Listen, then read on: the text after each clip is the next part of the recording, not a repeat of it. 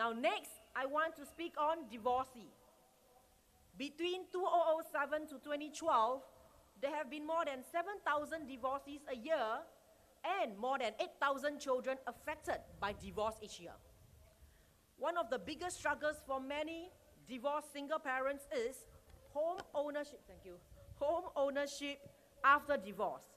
When a couple goes through divorce, the flat will be sold and the sales proceeds given out accordingly to both parties.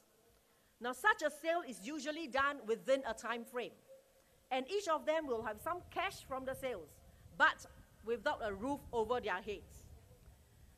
A divorcee is faced with several options for housing. Number one, he or she can buy over the other half of the house or purchase or rent from the open market. Now, these choices require cold hard cash that the individual may not have, especially on a single income. Number two, the divorcee can also purchase directly from HDB, but they may no longer qualify as a first timer. There is a three years waiting period if their previous flat was purchased directly from HDB for one of the spouses. Now, in other words, one can buy, but the other one got to wait three years. The standard waiting time to queue for a BTO flat is already long enough. Now, imagine how much longer it is for a divorced parent, especially those with children, who are already struggling to cope with the emotional fallout that comes with the breakup of a family.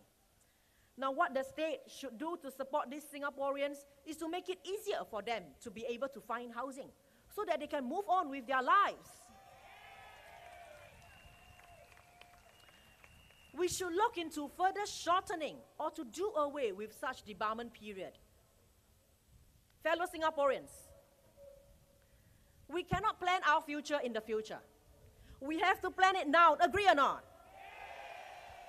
we have to start thinking what kind of a Singapore would you want your children or grandchildren to grow up in?